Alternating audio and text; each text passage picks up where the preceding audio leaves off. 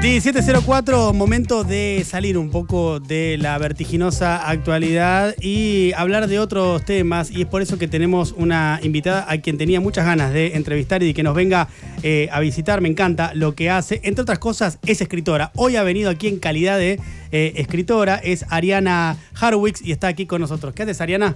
¿Cómo estás? Qué bueno. Bien. Gracias por haber venido. Igualmente. Recién la, de- eh, la descubrí que también es especialista en Juegos Olímpicos. Durante Sí. cinco minutos fue especialista en Juegos Olímpicos. Eh, sí. Puede ser periodista porque puede hablar de todo, ¿viste? Ya tiene. Sí. ya- Puedo opinar de todo, o sea, no Claro, decir obvio. nada. es- Obvio. claro. Salvo O sea, que tenga datos. Si tenés ya no. datos, ya ahí, los ya límites es- empiezan a aparecer. Ya sos más parecido a un científico. Claro. Si opinás con datos, ¿te parece más un No, científico? pero llego a Argentina y me agarra esa pasión por opinar. Claro. Está bien. Le opino encima. Ahora, eh, bueno, Ariana, eh, ahora vamos a hablar de su última novela, que es eh, Perder el, el Juicio. Hizo otro- sobre otros también trabajos que ha hecho ella, pero principalmente sobre esto. Pero eh, les cuento que Ariana vive en Francia la mayor parte del tiempo, en, en las afueras, a dos, dos horas más o menos de París, en un, en un campo. Eh, ¿Hay mucha diferencia entre eh, los franceses y los argentinos o, tenemos similitudes? Qué buenas preguntas. Que... No, la verdad que sí, soy un gran periodista. Es un loco el Tano. ¿eh? Un gran periodista. Y nos vamos a elogiar mutuamente Sí, la- así. los Sí, 20 Va a minutos. sí, sí, sí. Es como Frost, ¿viste? Claro, claro. sí. No va a haber contrapunto, debate. No, no, no, no, no, no, no. Acá está autocelebratorio. un mensaje diciendo que no podíamos. Y es autocelebratorio de manera engañosa, porque es como que eh, el invitado me celebra, yo celebro al invitado y así, sucesivamente en un rol que no conduce a ningún lado. Acá viene la gente a hablar de Diego Iglesias. Cuando termina, ¿podés decir que soy una de las mejores escritoras? Voy a cerrar así. ¿Cerrás así? Sí, olvídate, sí, sí, sí. Yo diría que los, los franceses son muy distintos a los argentinos, siempre se generaliza, pero no se puede pensar sin generalizar, porque esa gente te dice, depende quién sí, pero bueno, para pensar hay que generalizar. Es engañoso esta idea de que somos parecidos por lo latino, la raíz latina, obviamente, no son finlandeses o, o asiáticos. Pero aún en esa especie de similitud, porque tenemos una cultura en común inmensa, somos terriblemente distintos el modo de, tramitar, de regular, ya hablo como una psicoanalista, de, el modo de, manejar nuestra violencia, eso es lo que más me apasiona de ver cómo viven otras culturas, que todos somos profundamente violentos, pero nada que ver la violencia argentina con la francesa para mí. Eh, el último libro de Ariana, que yo les acabo de mencionar, es Perder el Juicio. Ahí eh, la protagonista del libro es una mujer que, esto ya es una interpretación, Ariana, vos sos la que lo hizo, así que me dirás, ¿es correcto? Mm, me parece que no lo entendiste, puede pasar también. Eh, es una mujer dispuesta a todo para recuperar a sus hijos. ¿Lo interpreté bien? Sí, sí, sí, además de que Pero nunca, mal. nunca diría lo, lo leíste mal, leíste Claro. mal. No, está bueno también leer, leer mal. Sí, es una, es una mujer que, que se cansa de, de estar bajo el yugo de la ley, de estar ahí como bajando la cabeza eh, y agarra y, y quema todo y lo secuestra, ¿no? Bueno, en eso, eh, cuando Noé comentó eh, tu libro hace dos semanas o tres semanas, no me acuerdo exactamente, eh, una de las cosas que planteó que le interesaban del libro es que el libro te interpela sobre, y yo coincido también, sobre qué estás dispuesto a hacer o cuáles son los límites que podés llegar a superar cuando alguna circunstancia o algún contexto te eh, empuja hacia eso. Eh, ¿Es una de las cuestiones principales del libro para vos? O sea, esto de que todos en algún momento podemos llegar a traspasar o rebasar límites que en otra situación diríamos, no, esto yo a priori nunca lo haría. Parece armada esta entrevista, solo tomamos un café Sí. antes, pero no, es absolutamente eso. Yo pienso en mi escritorio, en el campo donde escribo, y está lleno, esto, lleno de balas, porque yo vivo, no hay nada en el pueblito donde yo vivo, solo hay una armería, un lugar de para cazadores, con, bueno, eso, para disfrazarse, ca- camuflarse, cazar eh, jabalíes. eh, Sí, cerdos salvajes, jabalíes, ciervos. Y yo, eh, los cazadores me dieron todas las balas que quedaban vacías y las puse en mi escritorio. Y me parece como muy simbólico esto de que yo jamás mataría a nadie.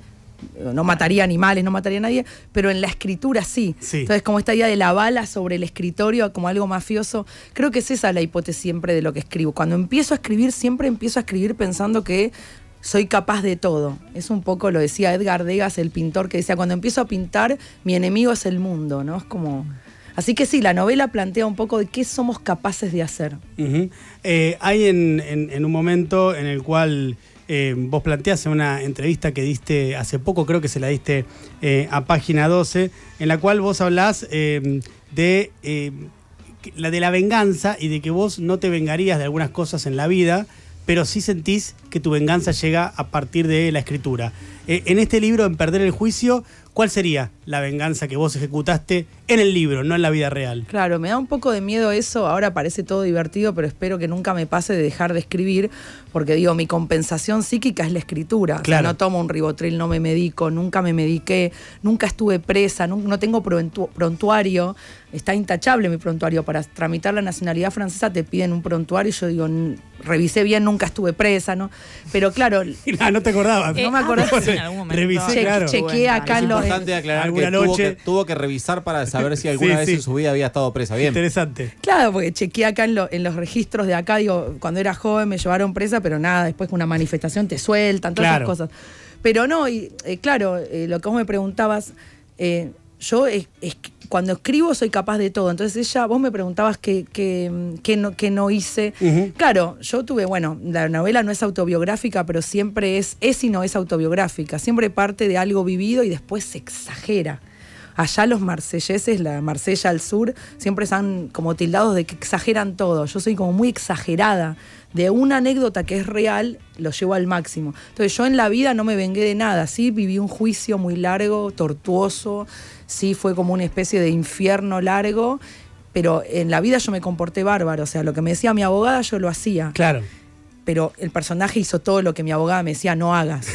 No, no, no lo hagas porque después las juezas te van a...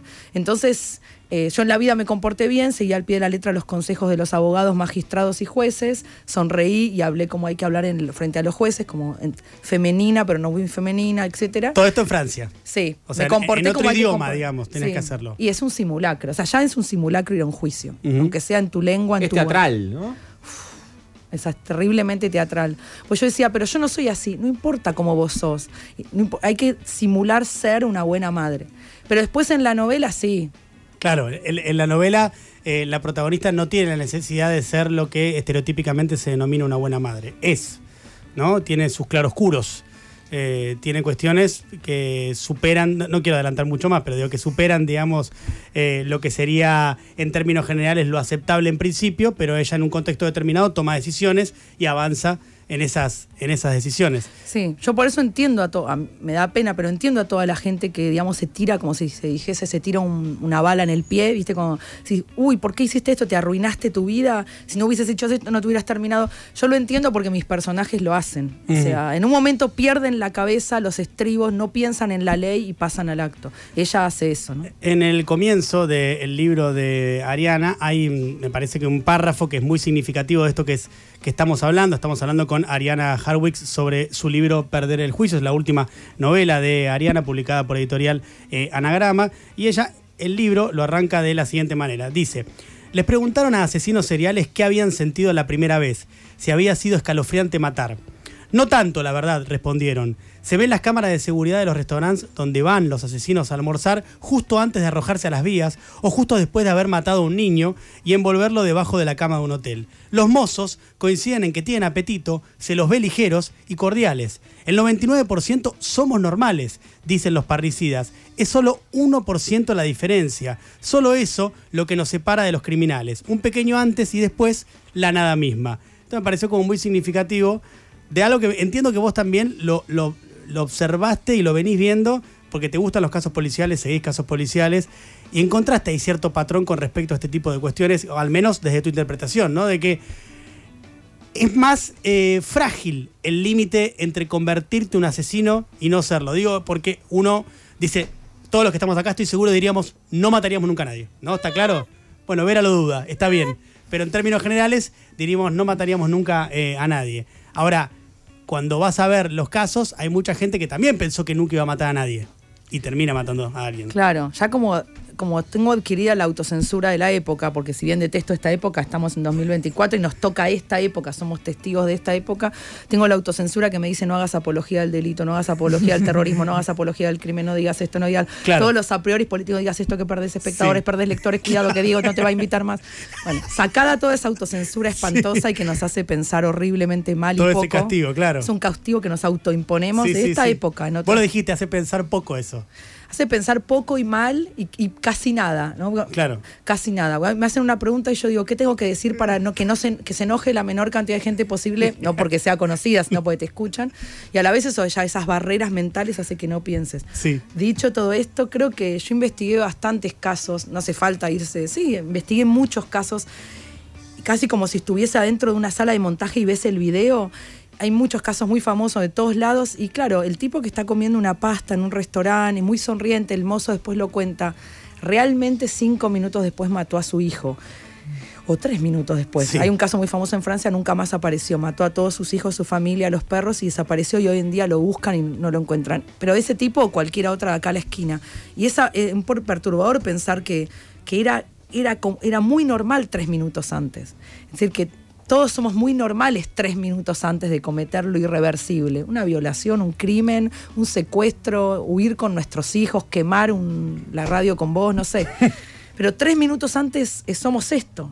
El tema es después. Y ellos se sienten normales. claro. Sí. Pero a nosotros nos alivia, creo, sentirnos lejos, ¿no? De, de Barreda o de quien sea. Sí, total. Eh, hay algo ahí de no creer que esos monstruos nos habitan, que nos genera como estar tranquilos. Pero bueno, me parece que lo, de la- lo, interesante de perder el juicio, me parece que por donde explora y por donde vos profundizás, es que en definitiva, por más de que haya gente que se moleste con esto, la realidad es que nos habitan a todos esas potencialidades. Es decir, no todos somos asesinos, pero todos potencialmente en alguna circunstancia podemos llegar a serlo. ¿No? Eh, eh, eso me parece que es. Digo asesino porque es como el grado tal vez eh, máximo, quitarle la vida a otra persona es el grado máximo tal vez. Es de- irreversible. Claro, de, de la Claro. comisión de un delito, ¿no? Digo, hay otras instancias de delito también que nosotros diríamos no las cometeríamos. Y tal vez en una circunstancia determinada las terminás cometiendo. Hubo un clic, pasó algo. Digo, me parece que interpelar sobre eso es, es más interesante. Eh, vos recién contabas, hablabas de tu mecánica de laburo que decía yo básicamente exagero. Agarro algo chiquito y eh, lo, lo agiganto. Eh, en perder el juicio, ¿se puede saber cuál es esa semilla, esa primera eh, molécula? Sí, eh, por eso digo que es una falsa autobiografía. Sería, sería realmente mentir decir que es una autobiografía porque no lo es, porque justamente la novela, como dije antes, es la hipótesis de todo lo que yo no hice, es la contracara. Siempre las novelas son la tentación de lo que yo hubiese querido hacer, que yo me- tenía un deseo loco de hacerlo, pero me reprimí por Como suerte. si fuese no un multiverso. La novela Sí. es como si la línea del Claro. tiempo No, se hubiese ido para otro lado. Es Está bien. absolutamente verídica y autobiográfica, pero no en los hechos, sino Claro. en el sentimiento. Claro. Por supuesto, sí, sí se puede saber eso que contaba antes. Yo viví un juicio largo, no perdí la tenencia de ningún hijo, sino que es una cuestión de debate de dónde vivir, pero que me, me sumergió a mí, me metió de, de lleno en lo que empezamos a hablar al principio, las diferencias culturales. Yo podría dar un- una cátedra, eso sí, de lo que es casarse con alguien de otra cultura. Está lleno de ejemplos mucho más extremos que el mío con gentes realmente que no son occidentales. Entonces, al principio es todo muy bonito, pero una pareja de dos culturas distintas después, ya de por sí el amor es lo más difícil y peligroso del mundo, sumale una, una lengua distinta. Entonces viví un juicio que terminó todo bien y cuando terminó todo ese periplo bastante infernal, eh, escribí lo que yo hubiera hecho en ese juicio que no hice, ¿no? Claro. Eh, ahora, antes hablabas, y esto también está vinculado con la venganza y con lo que vos en, la vida no harías, pero en el libro el protagonista sí, o la protagonista sí hace. Eh, y hay un- una frase que me acuerdo que también en ese momento Noé la, trajo cuando comentó el libro, que yo me quedé dando vueltas con esa frase y después la fui a buscar eh, al texto, que es en un momento, eh, vos escribís, cuando el miedo cambia de bando, es lo único verdaderamente justo. Y eso a mí me pareció fenomenal, porque Vos me bancás. yo he experimentado esa sensación también, muchas veces de, eh, digamos, quizás no exteriorizarlo de esta manera, pero sentir la satisfacción de que cuando veo que hay alguien que se ha comportado en la vida muy mal y de repente lo ves asustado porque las condiciones cambiaron y es humano sentir satisfacción por eso. Entonces me, pareció como muy sintético y muy preciso esto de cuando el miedo cambia de bando es lo único verdaderamente justo. ¿no? Suscribo eufórica y enfáticamente. Lo mismo que escribí, Es que hay que decir. Me- Estoy de acuerdo Estaba conmigo. Contá, no, estaba pensando que no necesariamente, que está buenísimo eso, que no necesariamente tiene que ser algo eh, cínico o perverso, que hay veces, eh, eh, incluso en los vínculos entre personas, que hay veces en esto de las parejas de quién tiene el, quién tiene el control sobre el otro, Ah. a veces es, es, es justamente el miedo. Que a veces el miedo a perder al otro es, es de uno y a veces es del otro. Y siempre es mejor que lo tenga el otro. Claro, eso totalmente de acuerdo con vos. No hace falta ir a casos que yo iba en mi cabeza Claro. de, guerras, de Yo- política. claro, No, la Vamos más- a la- está. Ay, hablemos todos al mismo tiempo, Sí, que me sí, encanta. así, así ¿Se no puede? entiende un choto, básicamente. No, es lindo. Como una película de casa, de todos al mismo tiempo. Esto que dijiste me hizo acordar, a mí una vez yo estaba saliendo a correr eh, y durante unas cuadras empiezo a ver, a sentir que me sigue un flaco y yo tipo hinchada de las pelotas porque me, me- me- no solamente me da miedo, me enerva mucho cuando me molestan en la calle, me molestan varones o me gritan algo desde un auto, lo que sea. Y estaba medio cruzadita y me lo puse, di la vuelta y lo empecé a seguir yo a él, cinco cuadras. El tipo en un momento frena y me dice, flaca, ¿qué me seguís? No, yo estoy corriendo tranqui. Y además ahí. Se cagó en las patas. La satisfacción que yo tuve de que un tipo sintiera lo mismo que me hacen sentir todos los días, me dio como una paz y aparte una sensación de control, ¿viste? De que yo también puedo ser la amenaza. Así que, ojo. Eso es, Un espectacular. Un beso grande. Eso es espectacular porque es como dar vuelta a la mesa. Es ese gesto, esa satisfacción que se parece mucho a la justicia, a veces mucho más que un fallo. Mucho más que un fallo, que a veces son injustos. La justicia a veces es profundamente injusta en su funcionamiento, en su mecánica, en sus leyes. Pero si alguien me había dicho, un historiador, ¿querés reducir una persona a la nada misma? Hacela tener miedo. Yo lo pienso en términos políticos, pero da Sí, igual, sí, en una sí, pareja, sí, como sí. decís vos. Reducir una persona eh, eh, fragilizarla, reducirla, mini- hacerla tener miedo. El miedo nos paraliza y somos rehenes. Entonces esa, esta novela un poco me parece a mí, o intentó ser el juego de ella le hace tener miedo a él, él le hace tener miedo a ella, ella le hace tener miedo a él. Están todo el tiempo en esto, ¿no? O sea, eh, juegan con, jugás con esto de víctima-victimario. La, la- la- la misma persona en algún punto o no. O- Totalmente sí. Porque vos me preguntás antes por mi vida. Obviamente porque hablo yo, si hablas el otro diría lo contrario, eso se trata la vida. Yo me sentí víctima durante lo que me pasó a mí, da igual. Sí. o, o en otras circunstancias de la vida. Me siento víctima porque sí, en, menor, en, en condiciones de inferioridad, porque soy extranjera, como decías, la lengua, etcétera, etcétera.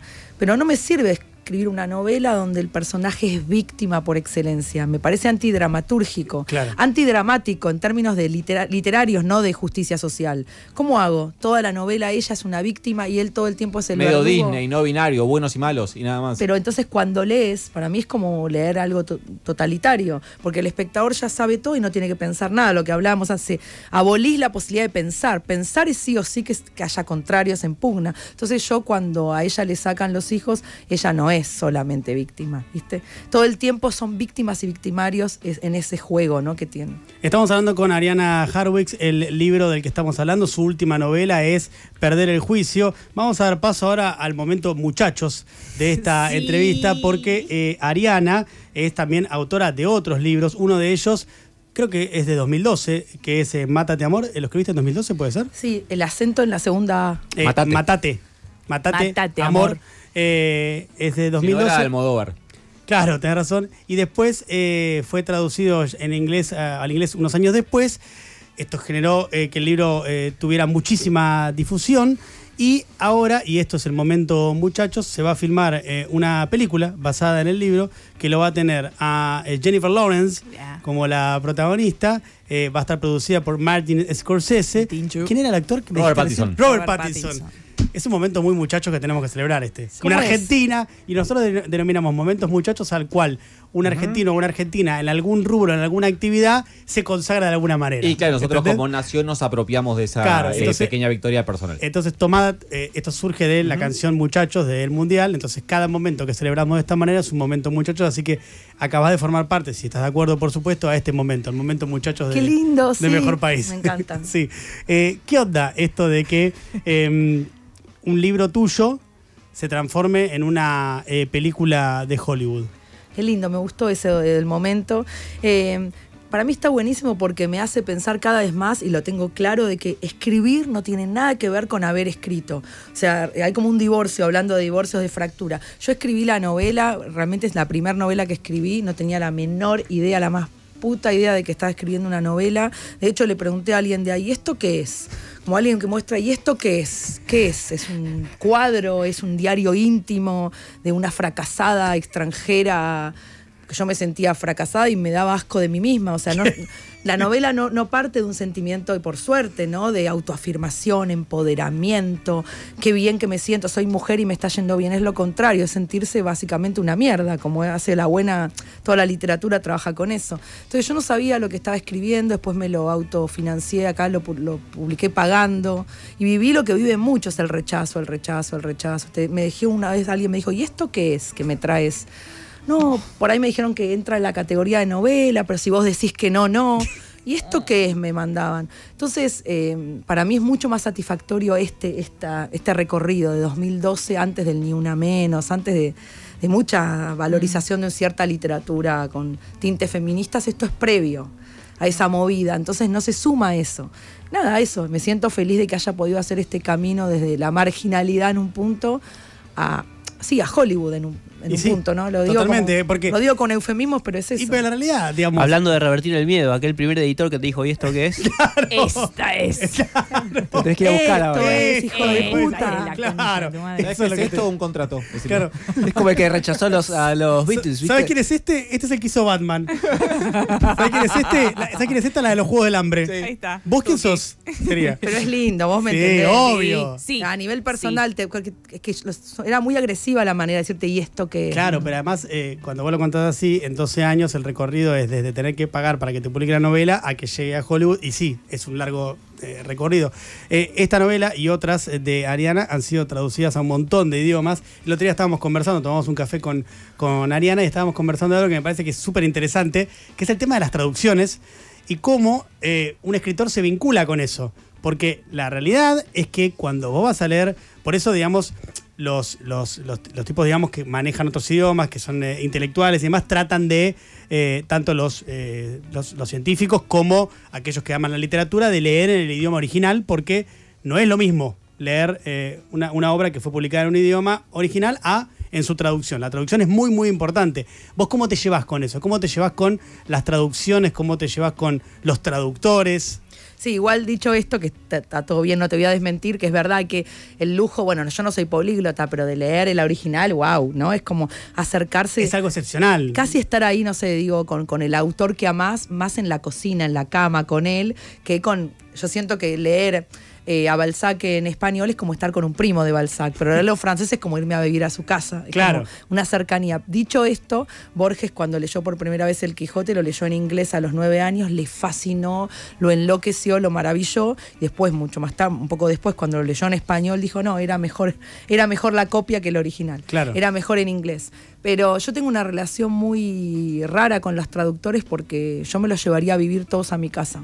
O sea, los tengo a todos en WhatsApp, los quiero, como un Tinder de traductores. Yo quiero que me quieran. Soy rara con las ¿Te traducciones. consultan? No, te estoy diciendo, un Tinder. O sea, quiero que vengan a mi casa, hablamos, nos mandamos audios, les digo, Pero, graben. pero por eso, en, en- en el laburo, en, te, te están traduciendo, che, esto que pusiste de esta manera, ¿te parece que este es el sentido de la frase si yo lo digo de esta forma? No sé, ¿cómo es ese, ese, Claro. ese oficio? Como es, son culturas tan distintas, los que no me consideran una psicópata me consultan, los que no se alejan, porque yo, a mí me gusta Tienen miedo de ser los personajes de tu próxima novela, nosotros. Bebé reno de la traducción. El Hay bebé dos tipos reno de traductores, los que están en grupo de WhatsApp y los que tienen una perimetral, ¿no? Eso en serio, la acosadora de la traducción. Pero obviamente que no, pero el chiste es por la exageración, pero pasa. Yo con casi todos trabajo y a veces está buenísimo en contextos de donde supuestamente nos deberíamos estar, no sé, bueno, mis libros están traducidos, por ejemplo, al árabe, al hebreo, al turco, entonces cada uno imagínate cómo interpretan las palabras, el humor, y sí, trabajo mucho, consultan, sobre todo esto, el humor, nada más personal Claro. y regional y lingüístico propio de cada país que el humor, lo que te hace reír a vos, para ellos puede ser una tragedia. Sí, un juego de palabras que traducido pierde totalmente el sentido que le dio el escritor. Recon- casi todos, salvo con una o dos que no quisieron. Me acuerdo en Polonia no quiso trabajar la chica, la polaca que tradujo Matate Amor al, al polaco justamente. Y cuando fui a Varsovia antes del- de, la, de la pandemia y la quise conocer, no me quiso conocer. Ella mantenía la idea de que si conocía a la autora, su traducción no tenía sentido. No sé, algo tipo cenicienta de... Ah, Entonces, se bueno, rompía el hechizo. son O sea, también son neuróticos y locos los traductores, ¿no? Sí. Son como un poco como, el- como un escritor, porque finalmente es la misma búsqueda. Es buscar la palabra, cómo digo esto. Yo digo cómo digo esto en mi lengua y la turca dice cómo digo esto en turco. Pero es como la mismo, el mismo trabajo sobre la palabra finalmente. ¿Pensás mucho las palabras que usás? Eso sí, muchísimo. No quiere decir que, porque si no sería un proceso muy poco como armónico, ¿no? Estar pensando cada palabra quirúrgicamente me suena a mí aburrido. No habría esa especie de envión, de violencia, de, de- de- de velocidad que necesita la escritura. Pero por ahí escribo, pero después retrocedo y estoy pensando, no sé si cada palabra individualmente, pero la mecánica entre las palabras, ¿no? Cómo funcionan, cómo se relacionan. Es Hoy al principio del programa eh, comentaba que eh, estoy bastante fanatizado leyendo a um, un autor que se llama Labatut, Benjamín Labatut, Sí. que también es de anagrama, como está anagrama, eh? acá está Seba, mira que está diciendo qué momento, qué momento de la editorial. Pero vos tenías que decir que yo era la mejor. No, no, al final, es el cierre, el cierre, el cierre. el Ah, cierre. el- eso El cierre el ya lo tengo preparado eh, ahora, pero justo eh, estuve eh, leyendo bastante de él Sí. y me fui a, a escuchar entrevistas de él y en un momento dice que para, para él, viste que él, él escribe mucho vinculado con eh, el universo de la ciencia, le atrae mucho esa, esa temática. Y él lo que dice es que para él la ficción es una forma de conocimiento, ¿no? una forma de acceder al conocimiento. Em, vos, la, la ficción, ¿qué, sin- qué- qué es para vos la ficción? ¿Para qué te parece que sirve la ficción si es que sirve para algo? Tal vez no sirve para nada y es algo que está ahí. Sí, sirve, bueno, en términos personales sirve para poder sobrevivir, para, como decía antes, no terminar presa, para poder hacer soportable la extranjería. En términos personales sirve para, para tramitar la vida, o sea, decodifico la vida con la ficción. Es como un, no sé cómo decir, un pasaporte para decodificar. En vez de leer, interpretar la vida en otros términos, no sé, los interpretos de la ficción. Eh, y después es, es un, es impresionante porque todo lo que no puedo decir, lo que no se puede decir, se dice mediante la ficción. Es como un espejo deformado de lo que pasa. Creo que es la mejor manera de leer la época. Después en 50 años leeremos las novelas que se, que se fabrican, que se piensan como una especie de laboratorio ahora y entenderemos esta época por las novelas. Para mí eso que decís está bueno, ¿eh? Eh, es clave. Yo también eh, leo, eh, leo pensando de esa manera, de que eh, interpretan y captan con mucha profundidad el sentido de, de las cosas de un momento, de un tiempo histórico. De una época, claro. Sí, por eso a mí me, me gusta, o sea, me gusta leer, pero la ficción también, a mí que me gusta la política, me gusta la actualidad, digamos, me, me interesan esas temáticas, las leo en esa clave, ¿no? Como una forma, mezclando con lo que decía la Batut, una forma de acceder, digamos, a un tipo de conocimiento o algo que está pasando. Claro, que se dice siempre la premisa o la tesis del arte en general, porque para mí es lo mismo una pintura, una ópera, pero es, se miente, obvio que se miente, para decir la verdad. Y en esa ecuación de mentir, la Batuto, quien sea, en la novela, Total. un cuadro también miente, un cuadro, la Guernica miente, pero miente y dice la verdad al mismo tiempo. Y esa operación me parece a mí, que escribo novelas, más interesante que la literalidad. No es como... Está bien. Eh, Ariana, vos que sos la mejor escritora de, de la Argentina, eh, es algo que, espontáneo esto que acabo de, Sí. de- de Sí, no es la primera vez que lo dice. Lo, Lo, he- viene lo he dicho en otras oportunidades. sí. Hoy Sí. justo casualmente estás acá como entrevistada, pero los chicos saben y pueden dar fe que lo he Cuando dicho. vino Mariana Enríquez también lo dijo. Vos que sos los mejores no, le dije, le, le cité a Ari- Ariana también, le dije, ¿yo te acordás, Mariana? Que, Eh, ahora, em, cuando, cuando vos lees, eh, cuando vos escribís, digo, eh, ¿se traducen muchas cosas que vos estuviste o estás leyendo? ¿Tiene que ver el momento en el que vos escribís una novela con otros autores que estás leyendo de manera contemporánea o que leíste tiempo, tiempo antes inmediatamente? Sí, está buena la pregunta, porque hasta que uno no lo, no lo vive, no lo sabe, ¿no? Yo tenía también de estudiante ideas de cómo hacer. Como que cuando escribís todo se filtra, eso creo que lo dicen muchos, todo, es, todo se filtra, todo se contamina, todo entra eh, en la escritura. Lo que estás leyendo, lo que leíste hace media hora, la canción que escuchaste, la entrevista que viste, las notas que tomás. Yo vivo tomando notas obsesivamente, un carnet ah, en el celular y en el cuaderno. Todo, todo entra en realidad. Entra la madre que se escapó con los dos hijos, entra un nene desaparecido, entra una inundación donde murieron, quedaron atrapados entre las algas abajo del agua alguien, entra el final de una película que vi ayer, entra algo que soñé, entra algo que me, que me acuerdo que me dijo alguien. Entra todo, pero también entra lo que estás leyendo. ¿no? ¿Y te alcanza eh, con escribir para retenerlo o después revisar las notas? Reviso las notas, obsesivamente. Claro, dicen notas, novela. Yo algún día, dentro de mucho, quiero escribir un libro de cuentos por primera vez, que yo me lo voy a tomar poco ortodoxamente como un libro de mini novelas que llamaré cuentos por, para venderlo como cuentos, pero Claro. lo voy a pensar como novelas en miniatura, como haikus de novelas, pero van a ser cuentos con falsas novelas como cuentos. Y yo, claro, necesito apuntes. Tengo millones de hojas de apuntes. Vas, vas apuntando cosas, le vas, como dicen todos los maestros de escritura, le vas robando a la vida. Escribir es afanarle a la vida a, cua- a cuatro, a cuatro manos a condición de que no se note que es un afano. Es afanar bien, es robar bien. Entonces, tomar notas es robar Claro. constantemente. Robar todo, también a los autores que lees, pero no solamente, ¿no? Eh, es Ariana Harwicz, eh, la novela de la que hemos hablado hoy es eh, Perder eh, el Juicio. Por supuesto que también, además de recomendarles esta novela, que la compren y que la lean, porque realmente va a ser una buena experiencia. eh, en un tiempo X van a poder ver eh, una película de Hollywood basada en una, en una novela de. Sobre todo aquel editor que rechazó la novela. También que ese, él la "¿Y va a ver. qué es?". Él la va a ver. Iremos a verla con la camiseta de la selección. Sí, como corresponde. Hay que ponerse la camiseta. Sí, claro. Sí. Sí, el- En el o sea, estreno, sobre todo. Cuando se estrene la película, eh, vamos a ir a verla, por lo menos los integrantes de este programa, con la Sí. camiseta de la selección. Y vamos a la alfombra roja todos juntos. Me encantaría. Sí. Me encantaría, me encantaría. Yo me he visto de Arlequina, tipo, viste, voy maquillado con el gorro de Arlequín, tipo hincha de la selección, voy así a la alfombra roja. Sí, nosotros, eh, si te parece bien, podríamos hacer de tu claque. De fondo, Sí. todos vestidos y pintados como argentinos Obvio. y haciendo de tu claque. Porque somos eh, personas con mucho, con poco talento, pero con mucha pasión. Sí, Todo somos, lo que sea pasional, somos eh, muy está- hinchas. restamos para eso. Muy hinchas de, en este caso tuyos. ¿Está bien? Perfecto, Bárbara, la pasión va bien. Qué bueno, excelente. Es Ariana Harwicz, que ha estado aquí con nosotros en Mejor País del Mundo. Ariana, un placer, gracias por haber venido. ¿eh? Igualmente, muchas gracias. Un placer. Arroba Mejor País 899. Seguinos. Nosotros ya te estamos siguiendo.